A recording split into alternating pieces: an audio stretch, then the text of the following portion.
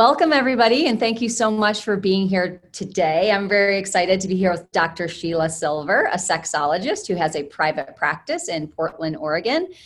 Thank you so much for being here. I'm glad to be here. Great. Um, so I'm going to give a little intro about you. Unfortunately, I didn't memorize it, so I'm going to read it. Um, Dr. Sheila Silver is a board certified clinical sexologist with a private practice in Oregon. She's a trained sex counselor, group facilitator, workshop leader, professional speaker, and sex educator. She holds a doctorate in human sexuality from the Institute for Advanced Study of Human Sexuality and a master's degree in marriage, family, and child therapy. She has given talks on intimacy and Parkinson's for Parkinson's Foundation, Caregiver Summit, UC San Diego Health, and more. She recently spoke at the World Parkinson Congress on sexuality and intimacy for people with Parkinson's and their partners. And she'll be speaking at the Advent Health Parkinson's Outreach in March 2020 on enhancing relationships and intimacy with Parkinson's. So, we are clearly in good hands, uh, which makes me excited to get started. Um, many of the questions I have for you today are questions that I have been getting over the past couple of years about sexuality, Parkinson's, intimacy, relationships, and that kind of thing. So I have a lot. Hopefully, we'll get through um, a whole bunch of them. Uh, but first of all, I'd love to start with what is a sexologist? Great question, because a lot of people don't know basically a sexologist is anybody who has 300 hours of academic training. So it could be a researcher it could be an educator or it could be a clinician like myself. Some people who are sexologists have a degree in sexuality so they have a master's or a doctoral degree like i do. Um, but you don't necessarily need that. So they could be working in different avenues and um, you're not unless they say they have a master's or a doctorate, they probably have about 300 hours of academic training, which is way more than a lot of therapists, of course. Right. Yeah. Right. Okay. And so, how did you get into this work? Oh, great question. So, I originally was just a regular psychotherapist for about 15 years and had a private practice and loved it. And then I went back to my um, I went back to school and got my doctorate specifically in sexuality because I was really aware that in the counseling field, there's a lot of people who feel really uncomfortable talking about sexuality. And I thought I could make a contribution. Um, one of, ironically, one of my very first jobs out of college was working at a private Catholic high school teaching sexuality. Um, before I ever got my master's or doctoral training. And then at some point while I was um, working after my, I got my doctorate, um, someone here in Portland in the Parkinson's community called me and said, We'd love for you to talk about Parkinson's. And that was exciting and fun. And I've been doing that work for the last six or seven years. Yeah. Wow. Oh, wow. That's interesting. That's an yeah. interesting path. Yeah. Um, so, what do you see as the role of sex in our lives? Well, I think that's a really fascinating and broad question because for some people, depending upon their age and their health and a million aspects of their lives, it can be it can ha- play no role. It can play no part. And i really want to say to those folks it's that's totally fine and totally normal. Like it doesn't have to be something that every couple needs to be doing. For some people, it's something that just happens very periodically, and other people, it's a vital, important aspect to their life. What I think is important when, it, when we think about sexuality is thinking about it sort of in terms of physical intimacy. I think physical intimacy is something that definitely should be part of all of our lives. We're humans, we need touch from when we're born throughout our lifespan. And so my hope is that even couples who choose not to be sexual as they age or as they you know struggle with health issues specifically in this case parkinson's that they continue to touch and be close physically in a variety of ways I love that you said that because that is not what people are told, you know, right? They're told if you're not doing if you're not having sex, if you're not sexually um, intimate with your partner, then then you're somehow like missing the thing and really missing out on a major part of life. And like you said, there's a whole lot to sexual intimacy and um, being intimate with a partner that that is not just the sex act.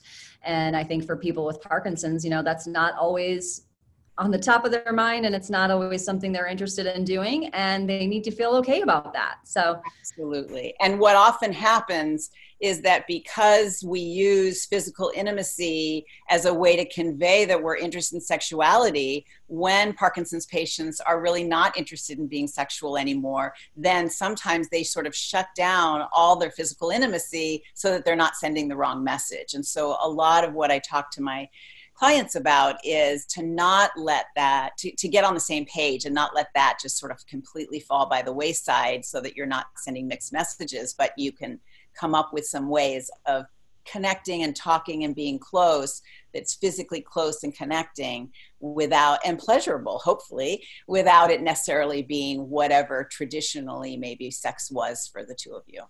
Yeah i think that that communication piece is critical right? I mean yeah you you stop because you don't want to give somebody the wrong message and then you give them a, a totally different message that you're trying to avoid. Um, so yeah and I'm, I'm hoping that we can talk about some different ways to communicate and really you know make it uh, an acceptable dinner table conversation that it's not this thing that we just can't talk about. Um, and that talking about it actually creates intimacy. So uh, there's a there's a whole lot of, of ways to or work around whatever people are feeling in the in certain periods of their stage of Parkinson's or really any part of life. Um, what are some of the facts related to sexual dysfunction with people who are living with Parkinson's? Well, certainly it's true that sort of typical Parkinson's symptoms like tremor, rigidity, you know, um, slowness of movement, those are all going to impact the, your ability to be sexual. Fatigue is a big one as well, that people just don't have the energy to kind of put forth what they think they need to be sexual. This comes back to what we were just talking about. Whereas, it, if you can expand your definition of what it means to be sexual, you might have enough energy for that. But it you have to keep changing and evolving your definition. Um, but other things that affect um, Parkinson's patients related to sexuality are things like um, difficulty getting an erection or keeping an erection. For women, it's dryness and pain sometimes. But some of these symptoms are actually kind of go along with aging or women being postmenopausal. And so it's hard sometimes to really know is it related to Parkinson's or is it just normal aging that they would be experiencing anyway? Right. And and for the people experiencing it, it's it's a problem no matter exactly. what. Um, So do I mean, I guess it, it's not really an, uh, an important question. Does does it seem like people with Parkinson's have a higher incidence of sexual dysfunction, or is it not really? It's not much bigger than in the regular aging population. It's just that um, they may have um, symptoms that just make it more complicated or more difficult for them to sort of engage in the act. Right. I would say the latter is probably true, but I don't think they have more incidents necessarily, but some of the symptoms certainly get in the way. And so they're often more, um, it's more important for them to sort of look at how can I can I be adjusting, for example, the time of day so that I'm in my on period with my medications rather than kind of doing it typically at bedtime when I'm tired or I'm not, you know, at my optimum in terms of my medication. So I think Parkinson's patients need to be more aware of when's their best time of day and trying to hit that time. Yeah. Good. Yeah. So one question that came to me that I thought was really interesting uh, was somebody talking about body image and mm. sexuality and that is something that is you know sort of a universal truth right There's, that's Absolutely. something that lots of people are thinking about whether you're 21 or 91 right. um, but they were talking about it in the terms of you know yes their their body shakes or they're they're slumped or um, they're not as confident in their own body as they used to be maybe five years before you know when they didn't have parkinson's. So uh, what are some tools that you give people to kind of work through some of those issues? And and i suspect it's communication with partners but what is what are some practical things that people can do? Yeah certainly having a conversation about that some of those things and trying to get a sense from your partner whether it even really matters to them. Um, some of them can be you know helped by managing what time of day, for example, that you're trying to even attempt to be sexual. Um, but some of it is that, you know, as we age, we feel more self conscious just as humans, as beings. And so, you know, we don't have the same bodies that we had when we were in our 20s or 30s or 40s. And so there is a huge, you know, way in which that often impacts people's sexual confidence um, when it comes to sexuality. And so, part of what I try to encourage people to really think about is, you know, you are more than just what your body looks like. You know, you as a lover is more than that. Like, how present are you? How interested are you? How curious are you? How much do you know about your partner's body? How interested are you in learning what they really enjoy and noticing what their body really likes? And there's a lot more to being really present with your partner. And I think that's one of the ways that a lot of Parkinson's patients can sort of adjust their focus is not just how am I looking, am I shaking too much, you know, what's happening with me, um, but what's instead what's happening with my partner and how can I create more pleasure and fun for them. And I think that makes a huge difference. A lot of men who have erection issues end up getting really caught up with their body and what it's doing or not doing. And often those men are so caught up with what their body's struggling with that they actually aren't as present with their partner. And so I think one of the biggest pieces of advice that I often give clients in my office is simply thinking of themselves as more than just however their body looks, whether they've put on weight or they, you know, just are saggy or just don't look quite what they used to, and instead really focus on their partner and knowing their partner better and trying to create more pleasure and connection with their partner. Right. Yeah. Um, so, what are some of the most common Parkinson's non motor problems related to sexuality? That's a great question. I mean, these are sometimes the most important issues that are really facing people with Parkinson's, and depression is, is a really important one. Many Parkinson's patients are battling with depression, and so it really affects their energy level, it affects their self confidence, it affects their interest in really engaging in sexuality. And so they need to really just look at that along with their neurologist and see if there's some medications that would really help with that. Um, another issue is that facial masking. So, a lot of times we communicate sexually by really nonverbal, subtle things. And Parkinson's patients, often because their face is a little more frozen, it's kind of hard to find out whether they're interested and for them to convey their interest. Um, and so sometimes you have to be communicating in a more explicit and direct sort of way when you didn't have to prior to Parkinson's kind of showing up on the scene. Um, cognitive changes, of course, is another big issue that impacts sexuality. Being distractible is another thing that Parkinson's patients, in, you know, really impacts um, their ability to be present and focused and really connected. And so it requires a lot of patience sometimes on the partner um, to realize that this isn't about them. It's a it's about the the patient and what they're struggling with, and to try to look past some of that so that you can connect in that way. Yeah, and I mean that's it's so interesting, right? We just talked about how if you're feeling not great about your body, mm-hmm. um, then you have all of these different thoughts that might impact it's subtle right like you're you're thinking of it but if you add that subtlety of not feeling good in your body with potential facial masking potential depression like there's just this whole feeling that kind of would create you know uh, curious uh, questions from your care partner or your lover or you know and just really kind of get it's easy for things to kind of go off the rails i would think if Definitely. if nothing's being talked about and um, it can go on and on and on and before you know it you've made up all these different stories about why we're not having sex and and uh, is it me and really that had nothing to do with it so um, yeah, and another big issue that I should mention is just role changes. You know, I mean, if you're a care partner and you're doing a lot of caregiving, that really impacts sexuality. You know, there's a way in which it you stop being the two of you and you end up sort of one person's a patient and one person's more of a caregiver and there's nothing sexy about that.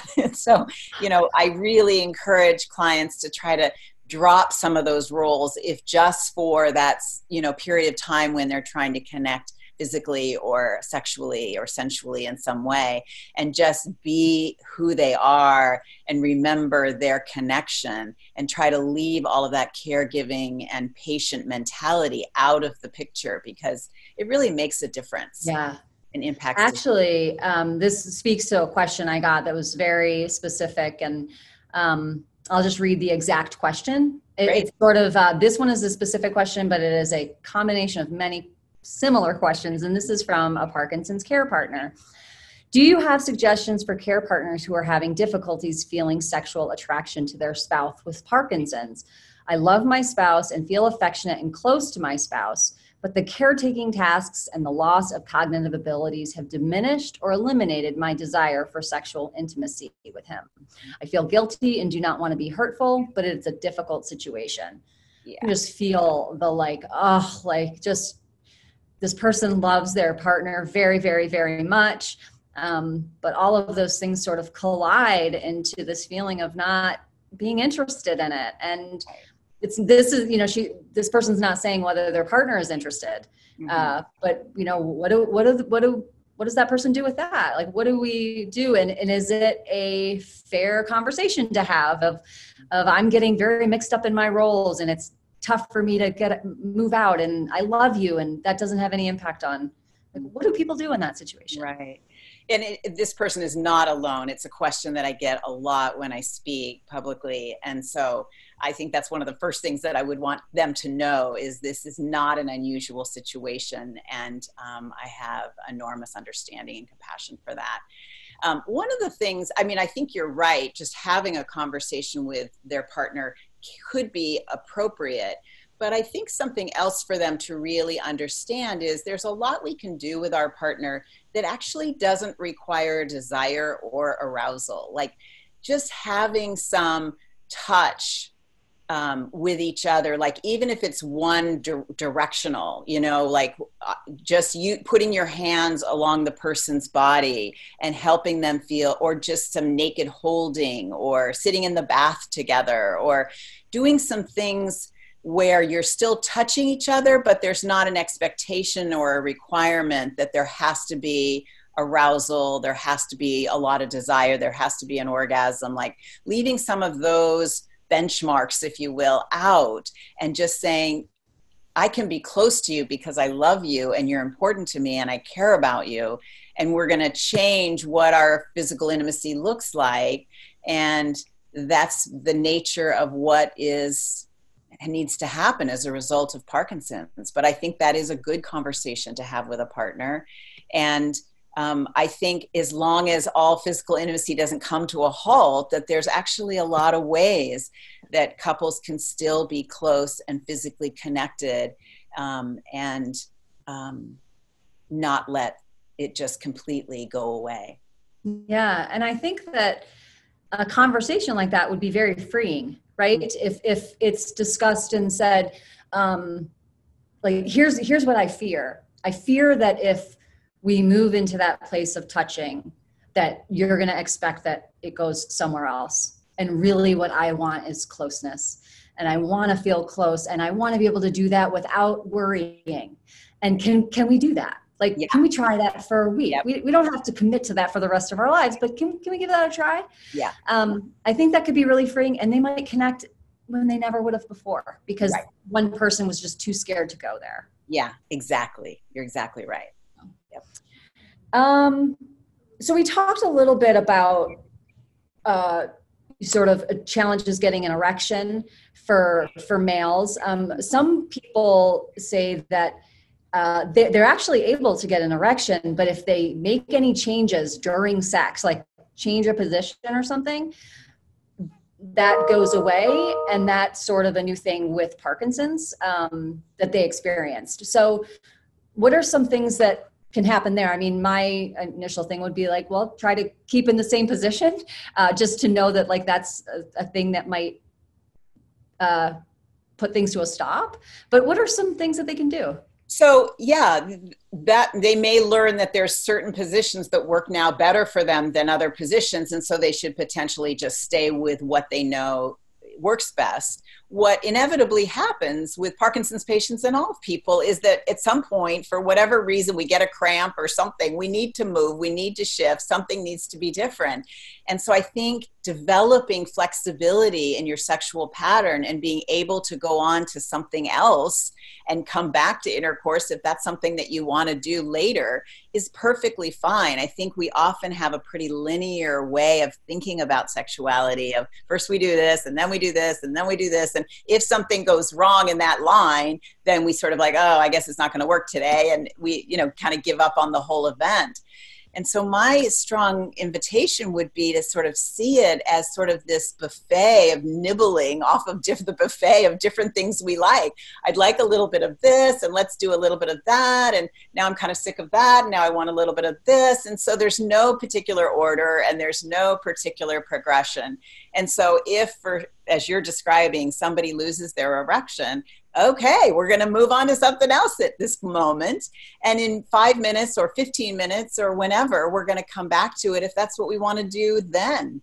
But to just swing with it, because that is, I think, being really an expert in sexuality as we age, is being able to know that so something's going to start hurting or something's going to be uncomfortable or something's just not going to work right and so we've got to choose other things and not just give up on the whole event because it's not going perfectly. Right. Yeah. So what are some things that happen with women that make it uh, challenging for women to to engage in intercourse so certainly for women, um, dryness, and this could be because just postmenopausal, we as women, you know, are a little, a lot more dry, um, and pain can be associated with intercourse because of that. There's a thinning of the vaginal walls, and so sometimes women experience pain if they're not on any kind of supplemental hormonal um, medications, and so what I urge women and men to realize is that for sexuality for women is a lot about their clitoris and not so much about their vagina. Like some women really enjoy penetration with hands or a penis or whatever, but for a lot of women that that's not that's emotionally connecting thing, but in terms of pleasure, it's not the end all or be all for them. And so a lot of women need to sort of explore what else can happen, what else might I enjoy that doesn't necessarily involve something that's penetrative because if that's painful for them then there's so many other things that they could do. And maybe up to this point they haven't really explored that but this is a good opportunity to sort of see well what other pleasure might i like um, what else could we be doing? What kind of massage of my clitoris might be really lovely? Maybe it wouldn't get them to orgasm and they need to use a vibrator at some point or whatever, but at least it would be fun and pleasurable and connecting, and it's all sex. Yeah.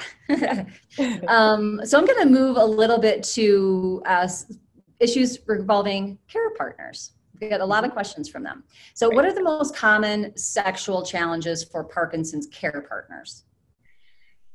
Well, I think this whole notion that I was speaking earlier in terms of their own fatigue, their own depression, they're feeling like they're a caretaker and not just a, an equal partner, that there's sort of more on their plate logistically, but there's also sort of this their own worry, their own fear of watching their partner change over the years.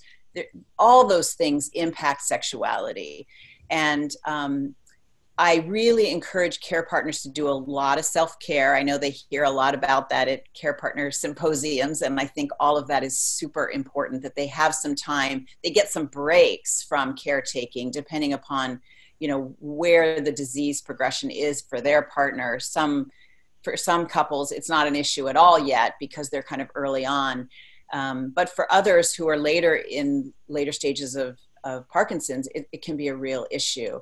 And so I think it's just important that they give themselves some breaks and some time away from that role. And that they, when they're trying to be sensual or sexual with their partner, that they really unhook from that role and, and sort of say, I don't need to take care of them right now. If they need something, they're going to speak up. I can just show up and ask for what I need and what I want.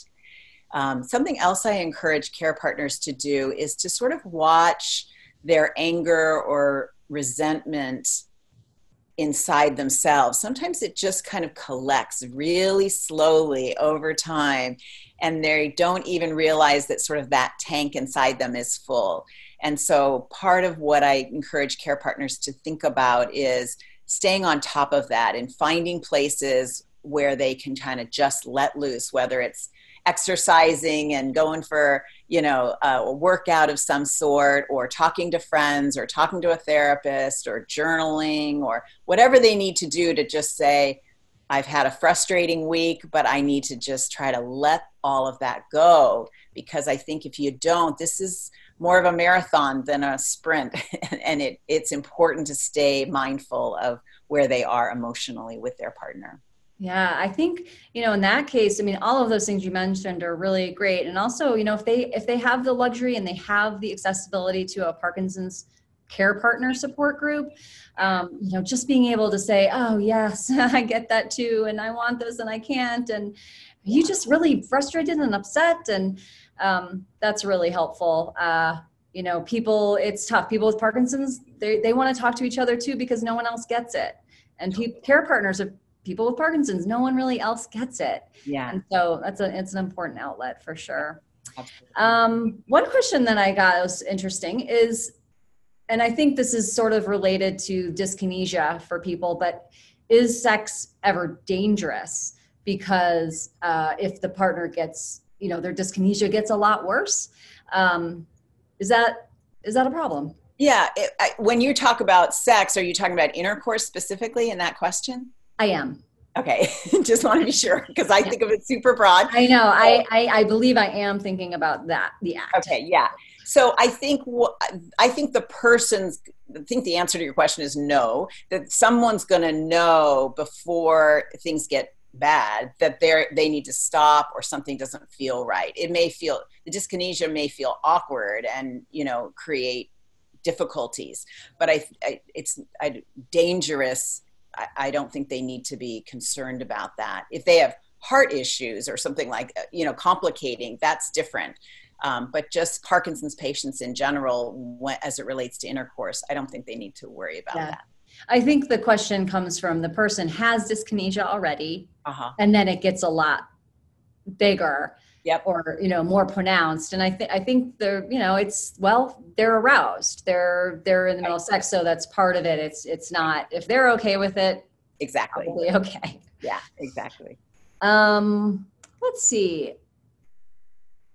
We talked about ways to reduce stress and to talk about it and to make sure that people are you know really connecting with um, other people in their community. Um, this is a big question we get all the time. How can I improve my relationship with my partner when sexual intimacy is not something they or I want, mm-hmm. uh, but but we still want to be connected? Mm-hmm.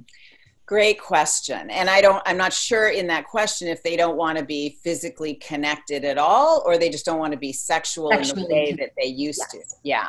So I'll, there's sort of two answers to that. One is in terms of just generally staying physically connected. I, I said I think I said this earlier. You know, remembering to have some naked time that's not going anywhere other than just you're laying there together enjoying each other's bodies, or you're rubbing some lotion or some oil into each other's bodies just for relaxation and feeling connected, and because you are more intimate with this person than anybody else on the planet, and so it's it's really it's just enjoyable to be close that way or kissing or holding hands or sitting close to someone. Sometimes people like having really just still hands on their body as opposed to moving hands that there's some fear that if your hands moving i don't quite know where it's going to go. And so they don't really uh, feel comfortable or um, having moving hands on their body but just a hand on the face or a hand on the chest or just your your hands either side of your your shoulders or your arms can feel really lovely and i always encourage people to do like spooning or cuddling in bed so those kinds of ways and being on the same page and realizing this isn't a lead up to anything else. I just want to make sure that we're doing this. So that's sort of in the physical intimacy realm. Now, I think it's important to pay attention to sort of your relationship as you age. Long term relationships need tending. Um, and so, other ways to stay pretty close and connected is to have deeper conversations. Sometimes Parkinson's patients are talking a lot about logistics, about appointments or treatment or food or sleep or, you know, a variety of things, or it's grandchildren or it's, you know, work or house stuff. And so all of the conversation is about that kind of stuff. And there isn't that deeper connecting of how are you really, you know, like heart sharing of, what would be a fun vacation we could take you know sometime in the next year or those deeper conversations so i actually have a heart share list um, that i'd be happy to share with people where it just sort of prompts you of what other things could we be talking about that would make us feel close and connected to each other other than sort of the day-to-day stuff or health stuff so that's certainly one um, one thing that i think is really valuable Something else that I think is really valuable is appreciations. That there's a way in which, yes, our partner knows we love them. Our partner knows that we appreciate them making dinner for us or bringing us coffee or whatever, but not letting any of those things sort of go by the wayside, but just making sure that we're saying, thank you for doing that. I, I love when you do that. I love when you open the car door for me, or I love when you pick up my sweater when I drop it on the ground, or just whatever it is, whether it's specific appreciations or it's just general things like, I just love being married to you. I love waking up in the morning with you. I'm so glad we're married. Like those may sound corny, but they are really lovely ways for couples to connect. And I my experience with a lot of couples in my practice is that it is those people who articulate that kind of stuff to their partner that they end up feeling really close and connected, even though they don't want to be physically sexual or sensual anymore with their partner. There's a bond and a closeness that's invaluable, really. Yeah. I, yeah. I love that. I love, um, and the examples that you gave were, you know being grateful for something that had nothing to do with parkinson's right? So yes. it wasn't thank you for you know helping me put my clothes on you know because it's just you know un, unrelated to that to remind people to connect it's fine of course it's great to be grateful for those things as well but um, to have that time to just be grateful for um, i would choose you every single day. This is this whether this is here or not yeah I think that's great and i love the idea of the heart share and I, I really definitely want to share that with our community because that can be something they sit down to dinner and every night for 10 minutes they just yep. connect on a question and uh, that goes a really long way and um, it's the you know it's it's the compounding factor of all of those communications totally. that really can can transform something um, in a short amount of time yeah, the other thing I really want to add here too, which I think is particularly important in this day and age, is to be aware and mindful of technology and how it invades our couple time. Whether it's the TV's on in the background or the radio's on or somebody's on their phone or somebody's on the computer or their iPad or whatever it is that it's I think it's really important for couples to have some time together when none of that is happening like the tv isn't on there isn't anything going on in the background. We're just with each other looking into each other's eyes having a really good discussion or laughing our heads off or playing a game. I think just having fun together and making sure that it isn't um, technology invaded, if you will, because technology can be so distracting, particularly because we get notifications or things go ding or whatever, you know, like it can impact, I think, the quality of the connection. So I think it's important to just point that out and let people think about, yeah, do we always have dinner? And we talk during dinner, but the back in the background is the TV. And maybe we could turn that off. Maybe that would really make a difference in how we connect. Yeah, absolutely. Yeah. Um, let's see. What is the giver receiver exercise? Oh, I love that. Yeah. So That is um, kind of an activity that I often give to a lot of my couples to kind of it's a multi it, it, has multi aspects to it that really offer a lot for couples so basically what it is is for it can be as short as five or ten minutes or longer where one person is giving touch to the other person but the kind of touch that's being given is what the receiver asks for. It isn't what the giver wants to give or thinks that person would like or any of that. The giver doesn't decide what the touch is. The receiver is the one who asks, maybe at the beginning of the five minutes or 10 minutes or whatever, what they want. Or it may be a moment to moment every few minutes. Okay, now I want you to do this. Okay, now I want you to just run your hands along my body in a really slow way, giving the the giver some coaching as they do it so that you're getting the touch that you want exactly the way you want it. And one of the benefits of that is that the giver ends up learning a lot about what the receiver really likes. We often give touch in the way that we want, not necessarily in the way our partner wants. And so, one of the values of this exercise is that if the receiver is saying exactly how slowly the hands should move, or I want you to not move your hands at all, I just want you to lay them on my back, then the giver ends up learning a lot about wow this person really likes light touch or they really like this or they really like that and it can be as simple as just non-sexual touching or it could be more sexual depending upon what the couple wants but the value there is that the receiver is having to speak what they want and communicate in that way. And if they don't know what they want, it's totally fine to say, why don't you just start by doing such and such? I don't know if I'm going to like it or not, but let, just start that, that way. And that starts getting the receiver to start learning about what they like and how they like it and trying out different things if they don't already know. And it allows the giver to start learning more specifically and accurately what that receiver likes. And then you switch after 10 minutes or 15 minutes or however long you've been doing that. It's great. Right. So, and also, I mean, I think for the receiver, it's how, how, how can I learn to accept this? this is going to translate into a lot of areas of my life. I'm asking for something. Am I open to receiving it? Am I accepting it? Do I feel worthy of it? All of those things right. that transfers later when you can't walk to the car or you know you need help in another way this is how i could you need you to help me um, it's really just a communication tool right that's exactly.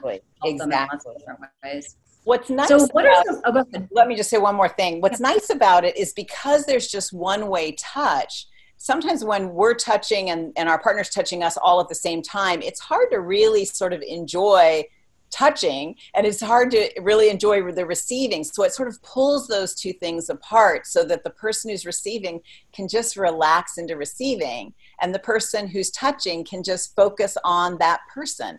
And so it's kind of nice to pull those apart sometimes so that touch isn't happening simultaneously and you don't get to sort of fully enjoy either part I just had a vision of you know the lines of people in the back, scratch like oh, everyone behind you, and you're like, this isn't really fun because I'm having to do work, and then wow. you know, like I, I can't really get into what's happening. Right. Yep, exactly.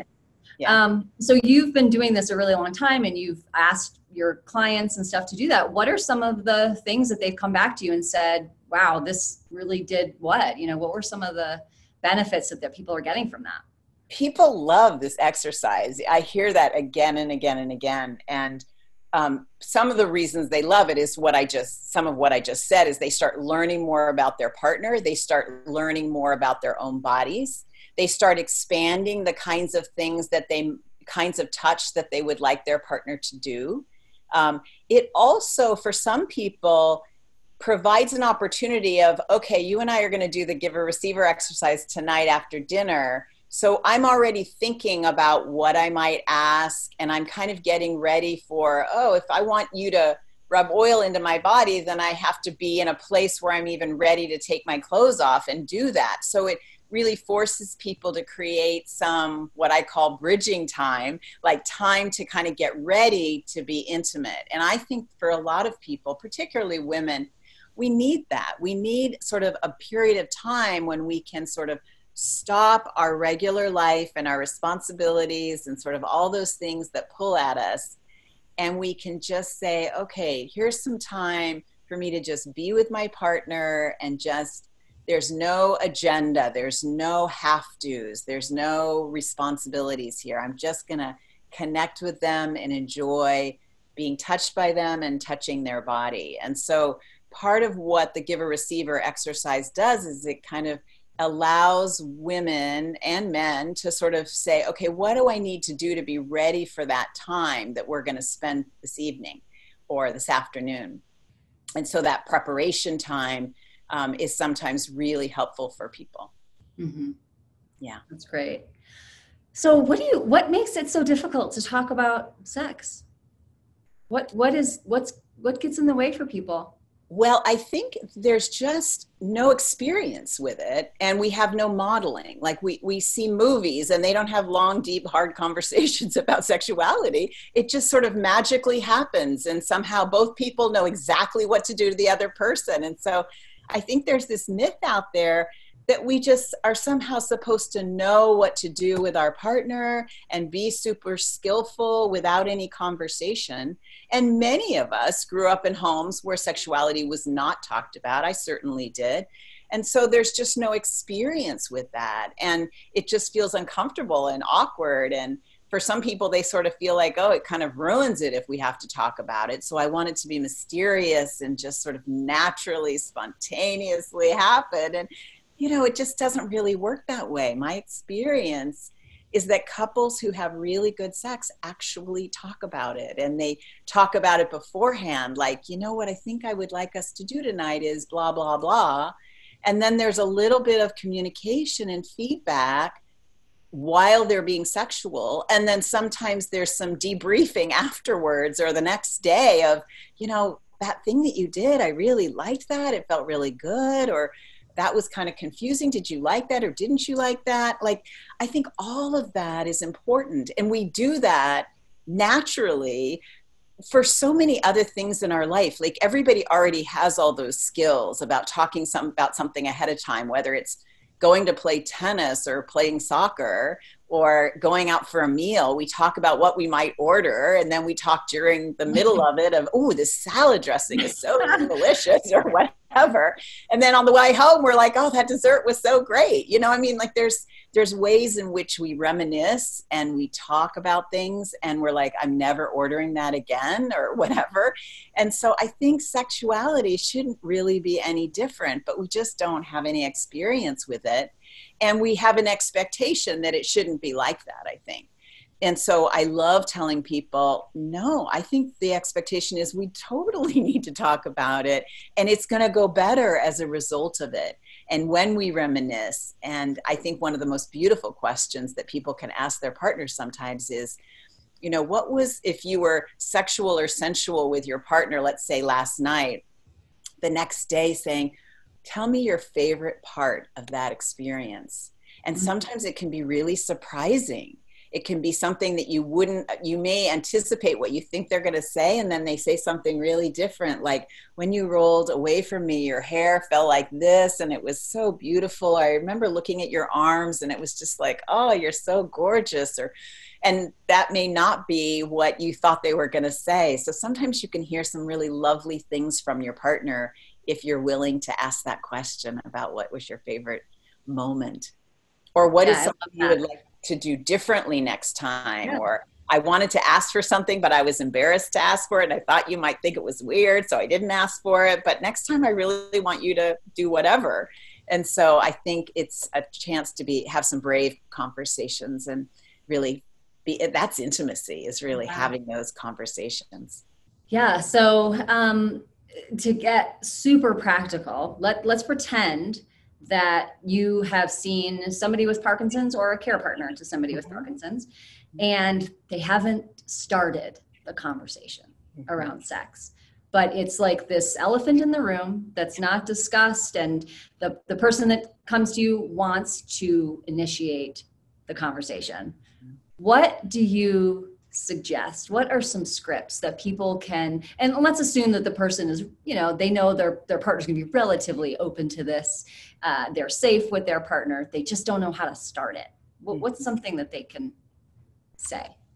Well, I have um, some questions, some sort of conversation starter questions that I could certainly offer to people because I think, you know, there are, you know, some questions that, you know, might be helpful as a way of starting. If they're in my office, I probably might start differently than they might on their own. Mm-hmm. Um, but I think one thing one way to start is just sort of where are you at right now what like what are you missing something is it totally fine where we are you know what is changing for you what are you noticing about your own body that's different you know i think bringing some your of your own vulnerability to the conversation and just saying i'm noticing that i want to be close to you but i'm not as interested in intercourse as i used to be and so i'm wondering it, are there other things we could be doing? And you know just sort of there's lots of there's not a right way per se to start but i think starting with not blame or complaints but sort of starting with some vulnerability and starting with what you're noticing and what you're wanting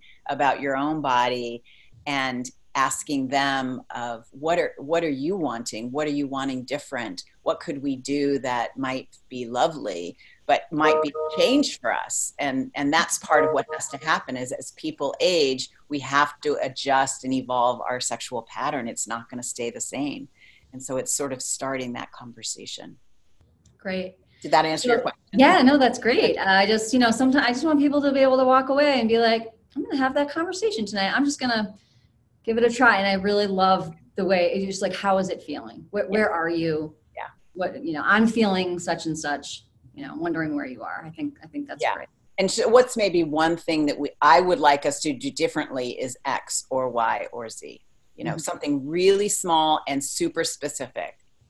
Mm-hmm. like i'd like us to go to bed earlier so that i'm not so tired or i'd like us to try to be sexual you know before dinner or in the afternoon when i have a lot more energy you know so it might be something really simple yeah, yeah. yeah.